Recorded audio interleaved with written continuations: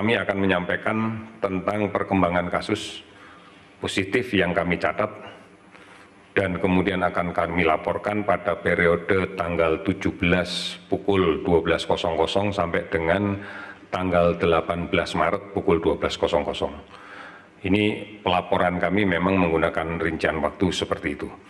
Kemarin sampai dengan pukul 12.00 tanggal 17 sudah kami laporkan ke masyarakat semuanya bahwa total kasus kita adalah 172.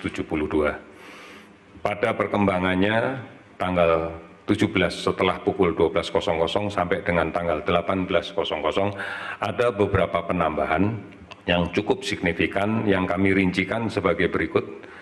Di Provinsi Banten kita menemukan lagi empat kasus positif. Di daerah istimewa Yogyakarta kita menemukan satu lagi kasus positif. DKI Jakarta kita temukan lagi 30 kasus positif. Jawa Barat kita temukan 12 kasus positif. Jawa Tengah 2 kasus positif. Sumatera Utara 1 kasus positif. Lampung 1 kasus positif. Riau 1 kasus positif. Kalimantan Timur 1 kasus positif kemudian dari proses penyelidikan epidemiologi yang kita lakukan dan kemudian kemandirian eh, yang bersangkutan, jadi ini bukan pasien rumah sakit yang datang dan kemudian kita periksa, kita temukan ada dua kasus positif. Sehingga pada periode 17 Maret pukul 12 sampai 18 Maret pukul 12 ada penambahan sebanyak 55 kasus positif sehingga total keseluruhan sampai dengan sekarang sampai dengan kami melaporkan data pada pukul 12.00 hari ini adalah 227 kasus positif. Kemudian jumlah kasus yang sudah menjadi negatif, sudah sembuh dan bisa dipulangkan secara akumulatif kita laporkan adalah 11 kasus bisa dipulangkan. Rinciannya adalah satu kasus dari Banten sudah bisa pulang, kemudian Jakarta 9 kasus, kemudian dari Jawa Barat satu kasus.